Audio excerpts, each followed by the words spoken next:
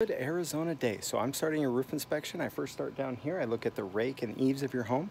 Any signs of roof failure, then I get up on your roof and get a better look at your roof. Let's start around here and show you what I'm looking at.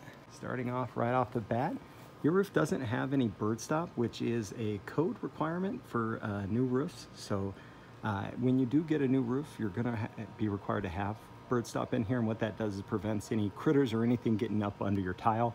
That's gonna be need something that you're gonna need. Looking up under here, first signs of any type of roof failure is right through there.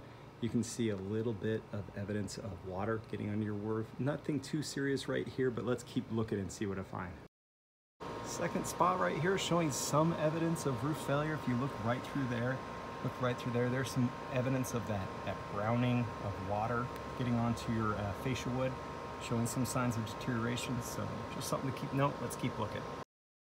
Okay, so this is where you're having that leak, approximately near this window. If you look right there, right there, there's evidence of water damage onto the wood right there. Looking back here, not seeing too much on the plywood itself until I come right through here. That's evidence of deterioration of the plywood plus something something is growing on it, not sure what. Let's keep going and see what else we can find. Right above your door here, there's some evidence of water getting onto your fascia just some uh, uh, dry rot right there. Uh, just something to be concerned about, showing signs of water getting on your fascia.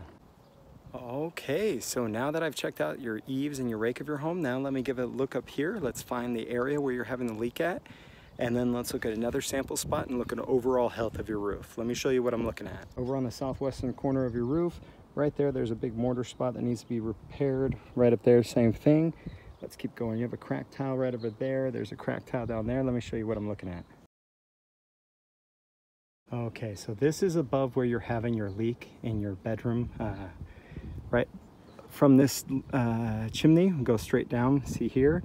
This is your underlayment of your roof. If you look at it, it looks very uh, full of debris and lots of deterioration, but looking closely, especially right here, this is exposed plywood. This is your roof decking. Your underlayment has completely failed here and it just has exposed wood. Water's gonna be able to flow right through here, get through that crack and get into your roof. This section of roof is gonna need to be repaired. I'm gonna check a few more spots on here for you to get a good idea of how your overall health on this slope of the roof is, but definitely gonna need a repair right through here. Okay, so to get a full scope on how big this leak is, I wanted to get a better idea of how your uh, western side of your slope is looking. So I uncovered a few other spots. So let me show you what I'm seeing. Right there's the original spot. I checked out a little bit further down that way, right here, as well as right here. Starting on this side, closest to your backyard, this part looks weathered uh, and then coming up on age, needing to replacement, but I'm not seeing evidence that there's active leaks right to this point. However, if I come over just about three feet, That is an active leak right there. You can see the wood is exposed right there. The wood's exposed, but right here, it's exposed wood, but also the wood is very soft. That wood's gonna need to be replaced as well. That goes next to the other spot I already had uncovered right here. It has more exposed wood. So that's another leak right there that's exposed wood. So this section so far from over here up to over there needs to be replaced. But if going further over here to check, see how far this deterioration goes, Right here, the underlayment's looking okay. This is an acceptable look for the age of the underlayment. So it's gonna be my recommendation that we have everything from here over replaced to make sure that we're covering all of this section of roof that needs to be taken care of. Coming right up here around your chimney, looks like they try to use mortar to seal up around here.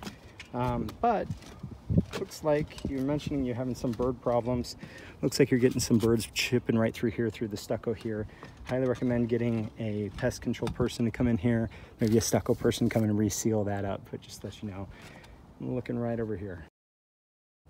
Okay, so this is the eastern facing slope, so it's not gonna get as much rain and direct sunlight on this side of it, but you can see that you're still seeing quite a lot of debris under here. You don't have bird stops, so that makes sense why you're getting more debris than normal. It's not curling as bad on this side as you're seeing the deterioration on that side. So this side might be a little bit better off than the other side. Let's keep going. I'll put all that in a proposal and I'll send it your way.